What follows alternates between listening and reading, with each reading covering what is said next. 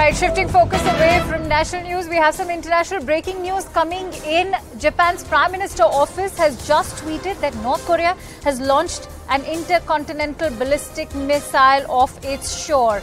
There are more updates to follow, but we are learning that Japan's Coast Guard has estimated that this ICBM would splash down off the west coast of Japan more than an hour after it was launched, suggesting that the weapon was one of North Korea's largest missiles. Remember, North Korea has been at a missile firing spree ever since last year. And uh, of course, it was in the last few months of 2022 that we had seen North Korea take off with that spree of uh, firing these ICBMs. For more details, let's quickly go across to our international news correspondent Abhishek Jha joining me on the phone line. Abhishek, uh, the timing of this firing is, of course, very crucial because we all know that South Korea and the United States are going to engage in uh, military drills next week.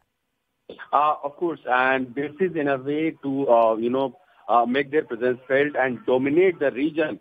Uh, why uh, we can say that North Korea has tried to fire these ballistic missiles. Last year, we, we have seen uh, during the month of December and November, there were barrage of missiles that were fired uh, towards the Sea of Japan. Almost 70 missiles were fired uh, from the North Korean side, of which almost eight were intercontinental ballistic missiles. So clearly, uh, an area where uh, not only North Korea wants to, you know, dominate, but also is a situation that can uh, flare up in a, in a, in a more aggressive uh, manner because South Korea has also, uh, in a way, expressed its concern over recent incidences of uh, North Korean drones flying over South Korean airspace.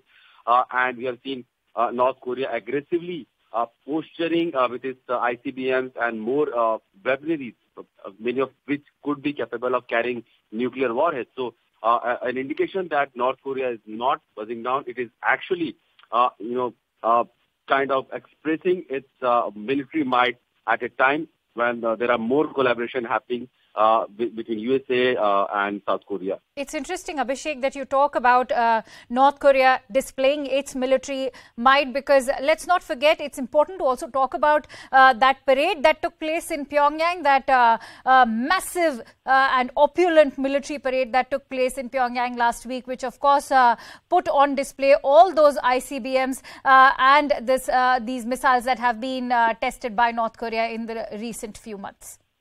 Uh, and, uh, you know, Akanksha, what has been so far interesting that these missiles have been fired, but uh, many of them have actually uh, fallen short of Sea of Japan, and that is the, the, the, the coastal uh, line that extends up to 270 uh, miles in the sea from the Japan's land boundary.